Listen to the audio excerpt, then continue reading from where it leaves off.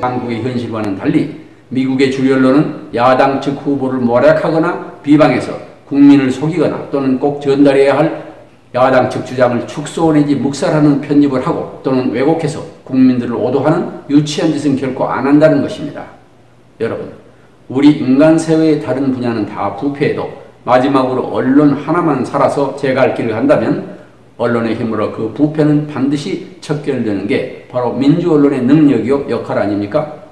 그런데 현 정부는 4대 자유가 보장된 대한민국의 헌법을 무시하고 국민의 입도 귀도 다 막아가며 또 아버지의 극악한 친일 행적과 물론 여러분께서는 지금 서울의 소리가 추진 중인 사이비 망국 언론 및 조선 동화 등의 종편 방송 타도를 위한 TV에 대한 창설에 한 분 한 분이 능력껏 도움을 주실 것을 진심으로 부탁드립니다.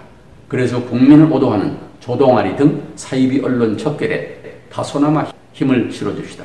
이번 생애의 막바지를 달리고 있는 만 80세의 노 기자가 간곡히 외치는 절규입니다.